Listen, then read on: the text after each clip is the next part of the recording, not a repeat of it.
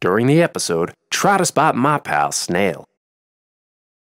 Well, there may be lots of critters living under the ground, but there's one wriggly one shot too amazing astound. Deep below our feet, under gardens and streets, you'll find these little creatures the song does feature. Talking about earthworms,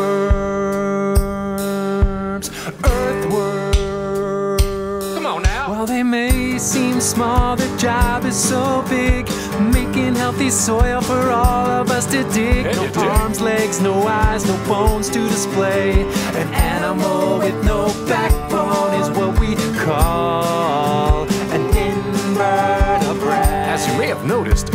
have no legs, arms, or eyes. Instead, receptors help them tell dark from light and keep them wise. Receptors let them know whether they're above or underground.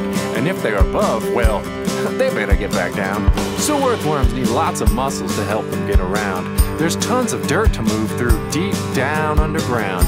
So how do they breathe in all that dirty dirt? Well, it's not through lungs, in which they have none. It's through their skin, with the help of mucus, in which they have a tongue. Have a tongue. Talk While about they may now. seem small, their job is great big, making healthy soil for all of us to dig. So while we have just one heart, well, worms have five. Five hearts beating just to keep one worm alive. They sure don't need those hearts for all they have to do.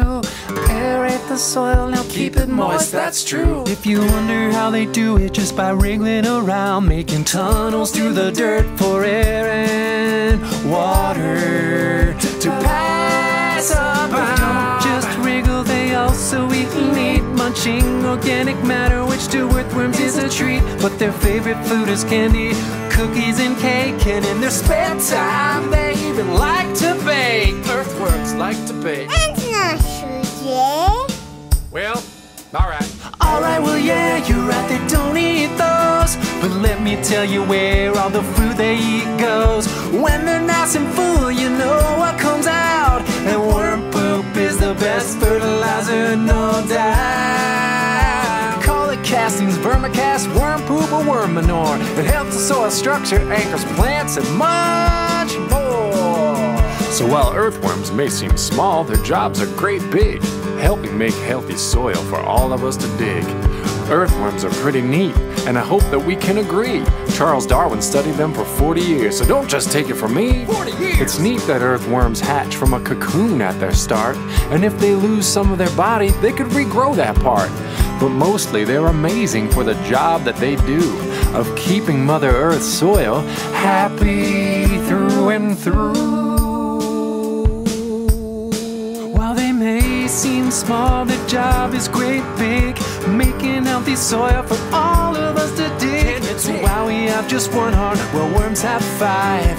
Five hearts beating just to keep one worm alive. They sure need those hearts to do. Aerate the soil, now keep it moist, that's true. If you wonder how they do it, just by wriggling around, making tunnels through the dirt for air and water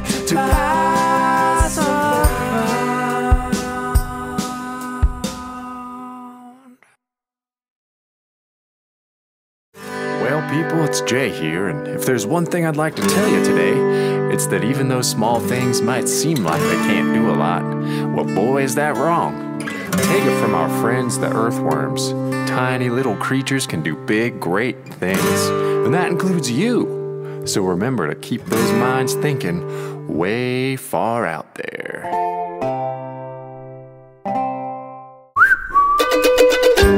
Thanks for spending time with